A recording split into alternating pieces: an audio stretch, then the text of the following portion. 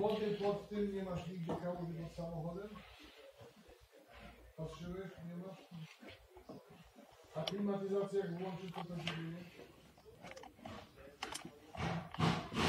Klimatyzacja się wyłącza?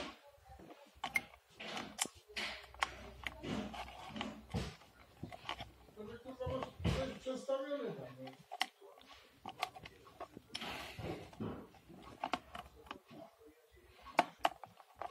Do na rower.